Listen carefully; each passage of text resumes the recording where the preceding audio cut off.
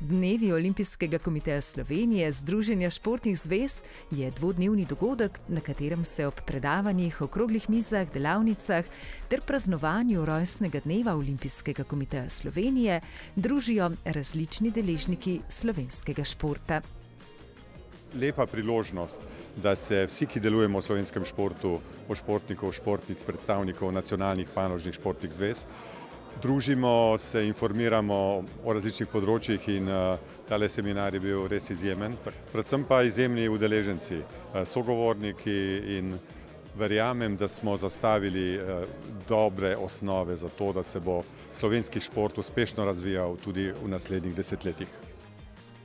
Mi tisto, kar lahko naredimo, je, da povečujemo sofinanciranje aktivnosti, ki so povezane s športom, to sedaj počnemo, da skušamo vsi skupaj povečati ugled v športu in da se zavedamo, ko govorimo o športu, ne govorimo samo o vrhunskem športu.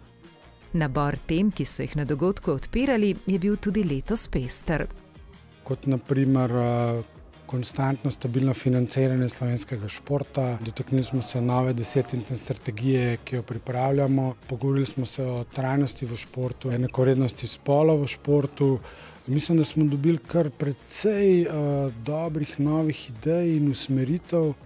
Pomemben del srečanja je tudi forum športnikov, ki deluje kot vez med športniki in našo krovno športno organizacijo.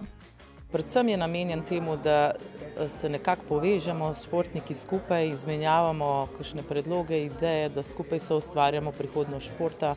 Športnikom so pripravili tudi različne delavnice, letos z rdečo nitjo družabnih omrežij.